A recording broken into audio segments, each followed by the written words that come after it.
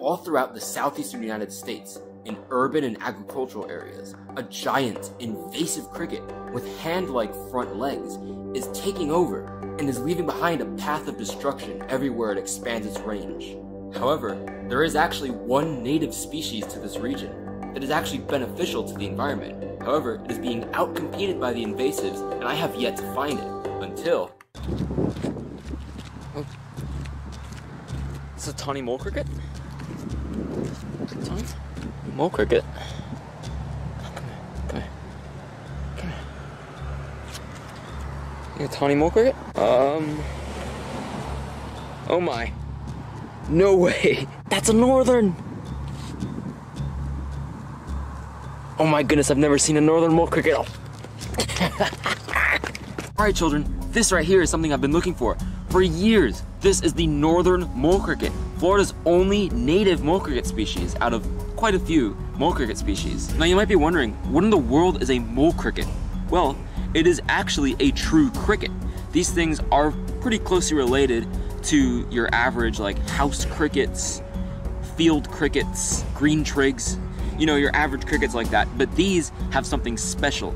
Instead of being able to jump long distances and living on the top of the ground or in trees or in bushes, these things live underground and build holes, little burrows in the ground, which is where they get the name mole cricket from.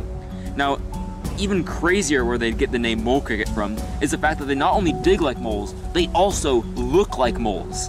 They have this kind of cute face with these two big black beady eyes. But even weirder, they have hands. You heard me right. This is a cricket with hands and almost fingers too. Their front two legs are very enlarged and kind of paddle shaped at the end with these spikes that almost look like fingers.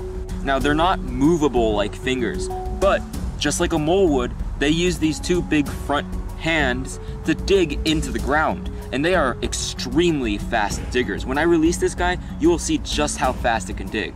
Now taxonomically, mole crickets are technically the closest living relatives to the ant crickets, which unlike this absolutely massive cricket right here, this is probably one of the largest crickets I've ever seen. Ant crickets are the smallest crickets in the world. So it's kind of funny that they're closely related, but they both have a relatively similar plan in that their back legs, instead of being very, very large for jumping, are quite small. And honestly, both mole crickets and ant crickets spend most of their time walking and running on the ground, and also living underneath the ground, than they do jumping. Like I said, this is the northern mole cricket, Florida's only native mole cricket species. Now you might be wondering, how can I tell it isn't one of the many invasives like the tawny mole cricket, the southern mole cricket, and the lesser shortwing mole cricket? Now, those species, except for the lesser shortwing mole cricket, will have longer wings. But more importantly, you can see those cerci at the end of the abdomen, those two long appendages. Northern mole crickets have much longer cerci than any of Florida's other mole cricket species, as well as a more elongated and dark overall appearance, with the head and thorax being very elongated and narrow almost having more of a cylindrical look with a relatively small head, whereas the other species in Florida will have a larger head, a more thick body, and shorter cerci.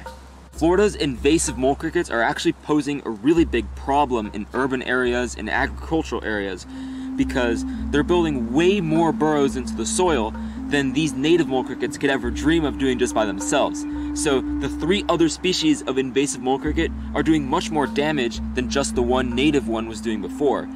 So to combat these invasive mole crickets, a species of wasp, a specialist species of wasp called Larra bicolor, has been introduced into Florida as a biological combat to especially the tawny mole cricket, but especially the invasive members of the genus Neoscapteriscus. Now this native mole cricket is not in the Neoscapteriscus, it's in its own genus separate from the other ones. So, likely, that specialist wasp would not be able to target this native species, which is not posing a threat to urban and agricultural areas like the invasives are. This northern mole cricket is unusually for a mole cricket just sitting nice and still on my hand. But if I were just to push it, it's gonna go crazy. And trust me, these things move very strangely. Arguably the way they move is weirder than how they look or their very unusual biology. So let's take a look at how this thing walks around. As you can see, even in my hands, this mole cricket's first instinct is to dig downwards, and what it's doing to do this is using its front two hand-like legs to push my fingers apart. The force you feel in between the fingers when the mole cricket is pushing them apart is actually quite impressive, and you can really see how they're able to dig through even relatively tough soils. And you can see when they're not underground and stressed out, their movements are quite frantic, but once they calm down, they usually stop moving. I just thought this shot was way too cute to not include in the video.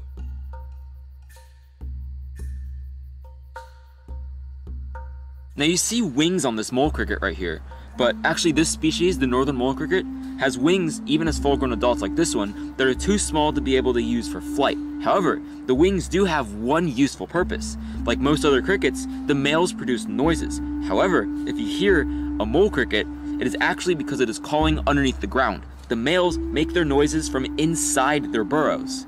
So their noises almost always sound muted and they're always coming from underneath the ground. The females, on the other hand, while they cannot call, lay their eggs in their burrows in a special chamber that they make underground. Now I'm actually not sure whether this mole cricket right here is a male or a female. That is because, unlike in most other crickets, the males and females are very hard to tell apart. Mole cricket females do not have the long exposed ovipositor that your average cricket would, because they don't need to insert their eggs into a deep substrate, instead just laying them directly underground. Besides breeding, their burrows also serve the purpose of being able to hide from predators and also to find food. These things are herbivorous. They'll be eating plant matter that occurs underground. And actually, the nymphs of this specific species right here have been known to specialize on eating only the roots of plants.